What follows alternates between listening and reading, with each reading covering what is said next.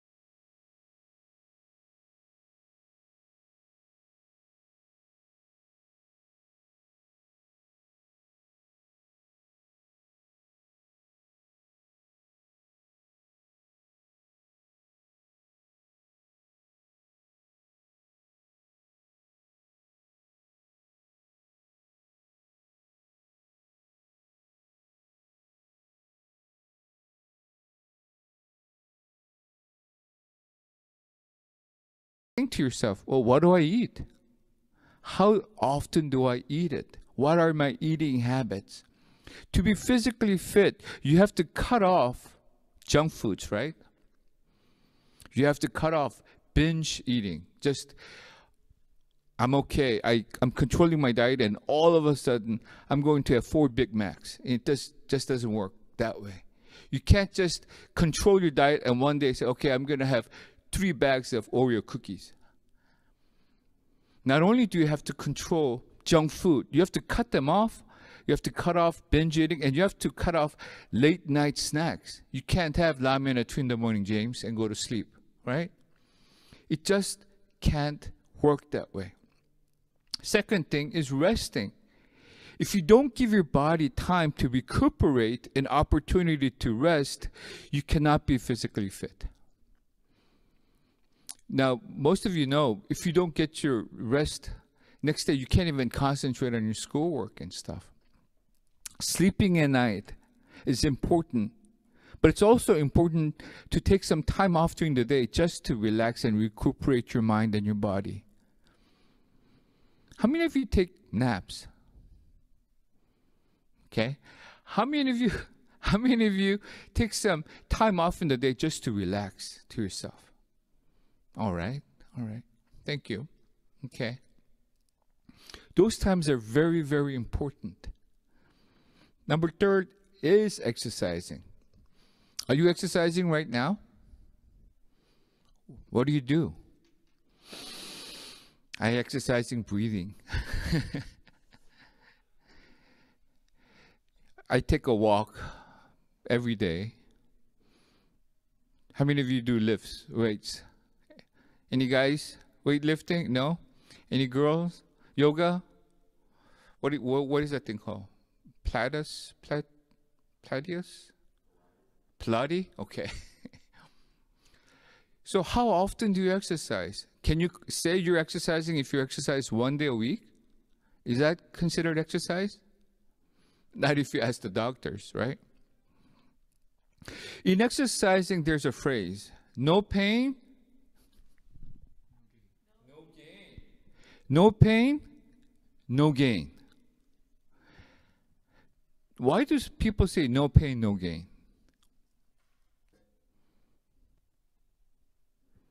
You know, do you know how the muscle develops? I'm sure you guys all know. The muscle develops and bulks up to the process of muscle fibers being torn apart and then the muscle repairing itself. It's a process of tearing and repairing, tearing and repairing that makes the muscle big. That's why I don't have much muscles because I don't tear my muscles that much. If you see those big guys in the gym, it's because they're pushing their limits. They're pushing it so hard that they're tearing the muscles, and then they give time to, to what? For the muscles to repair itself. And then what do they do again? Tear it again. And then they go through this process of tearing and repairing until the muscles get bulky. You know, the trainer will, will assess your current condition and discuss the desired outcome. if Hamilton wants to be in the Olympics, the trainer will talk to him and say, What's your desired outcome? And then the trainer will and put together a training program so we could reach that outcome, right? Likewise, training in spiritual fitness requires the same thing that requires physical fitness. That's what Paul, is saying in 1 Timothy 4. We must train ourselves in godliness. So let's think about this. Eating. Just as an assessment of what we are feeding our body is needed, we need to take an inventory of what we are feeding our soul, what we are feeding our spirit. We need to eh, assess how much junk food we let through our eyes how much junk food we are feeding our mind and our hearts. How many of you eat junk food spiritually? Most of us actually do. Do you guys ever binge on spiritually not good junk foods? Hours and hours at a time? Do you have late night snacks of junk food spiritually? Well, when you get up in the morning, it's going to show. As if when you eat ramen and you go to sleep, your face gets all bloated. When you do light, late night binging on spiritual junk food and you get up, your spirit's going to be spiritually you're going to feel bloated. It's it's not going to be feeling healthy. We need to ask ourselves, what do we desire? What is the outcome that we desire of how spiritually fit you want to be? How much do you want to be like Christ? Controlling what you eat spiritually is like controlling what you eat physically. It involves disciplining yourself to cut off unhealthy diet. Understand? Now, discipline means, well, so we need to do this, we need to discipline ourselves. So, discipline comes from the word decide, which means to cut away. Disciplining yourself means to make decisions to cut away the things that are keeping us from being like Christ, being godly. We have to make decisions to cut them away. So be aware, be deliberate about what you feed your soul. Pay attention to what you watch. Pay attention to what you hear. Pay attention to what you think. Train yourself. Discipline, discipline yourself. Make decisions to cut away those things that do not get you to become more and more Christ like. Remember last week's message when I talked about cutting off and gouging out, gouging out? Do you remember that part? It's better to limp with God than to run with sinners, right? It's better to limp into heaven than run into hell, right? Number two is resting. You know, this world is very, very good at preoccupying your mind. It's everywhere. The moment you turn on your computer to do any work, it's everywhere. It's everywhere to overload your mind. The world wants to keep you preoccupied with worries and anxieties, with greed and pride, with lust and temptation. It does. And it succeeds because it's continuously just bombarding you every awaking moment of your life. It's going to bombard you and overwhelm you with useless visual information.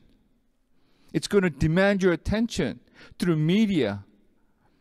It wants to expand all of your time and energy in the things of the world. And it's going to try to make you as tired as possible. When you're tired and you, how many of you in a tired state try to read the Bible? We tried, every one of us tried before. It doesn't work that well, does it? You just feel spiritually drained. You're like reading this thing, and I'm saying, okay, I'm just going to the exercise, but I'm just tired. I can't get, I can't wait till I get to the end of this chapter so I can close this book. That's the world is trying to do. It wants to give you no rest. You know, on TV, sometimes you see these guys playing computer games for like 48 hours or something. And you see them, they look like a zombie. They're like, I said, that's stupid. But if you look at your life, sometimes we do that to our lives too. We give ourselves no time to rest from the things of this world, from our spiritual junk foods. You need to actively choose to rest in God. Understand? You need to make that choice. You need daily Sabbath this weekly Sabbath, one day a week, it's not even one day a week. It's how many minutes out of that one day? But we need daily Sabbath. We need time to just relax in the presence of God. Most of us are Sabbath deprived. Most of us are rest deprived. We are tired all the time. I need all of you to try to take 30 minutes of your time between noon and 6 p.m., okay? 30 minutes of your time between noon and 6 p.m. for you to rest in God, to rest with God. Now, two youth hangouts ago, my recommendation to our youth was this before you do any exercise in homework or anything like that, try to take an opportunity to open the Word of God before you do any studying and just read a chapter and spend some time with God. It's going to get you to relax with God, it's going to open up your spiritual sense. And it's going to give you a peace of mind. So, actually, it's going to help you to be more effective in studying noon to 6 p.m., I want you to try to take one chapter of rest with God. Thirdly, exercising. Most of us don't strain ourselves when we exercise spiritually, do we? How many of you, when you're exercising spiritually, strain yourselves? You know, we try to fit in our reading here and there.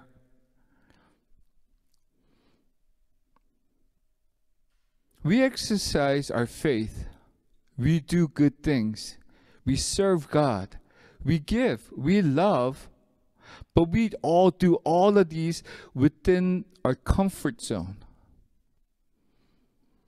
Not a lot of us, including me, it's hard to strain yourself spiritually. We'll do something when we can do something as much as we can do it comfortably. But I'm not going to strain myself. Well, no pain, no gain. We don't strain our spiritual muscles enough to the point where it hurts, where it rips our spiritual fiber. If you want to become spiritually strong, we need to push ourselves beyond our comfort level. Oh, I'm done with this one chapter. Okay, I'm done. Whew, that was too much for me. It's like, oh, I did three sit ups. Oh, ah, that's just extremely too much. If you want to be spiritually strong, we need to push ourselves beyond our spiritually comfort level. We need to remember no pain, no gain doesn't apply only to the things of this world, but spiritually, we need to push ourselves. Secondly, what are the things that a godly person is to avoid?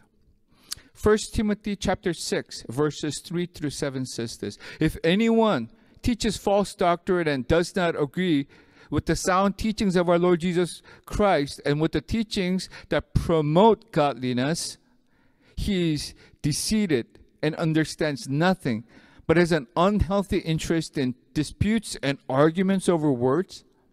From these come envy, quarreling, slander, evil suspicions, and constant disagreement among people whose minds are depraved and deprived of the truth. We are to avoid unhealthy interest in disputes, arguments over words that cause envy, quarreling, slander, and evil suspicion and disagreement. This is such a big problem in this world. We love to argue about things. If somebody disagrees with us, we'll go to war in this world. Do you know why? These are usually the result of our pride and self righteousness, self centeredness.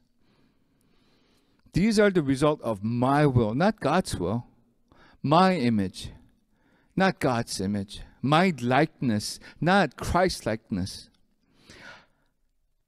I'm not saying avoid oh, disagree, disagreements at all costs. That's not what I'm saying. We shouldn't agree with someone who blatantly disagrees with, with God or is dis- blatantly unbiblical.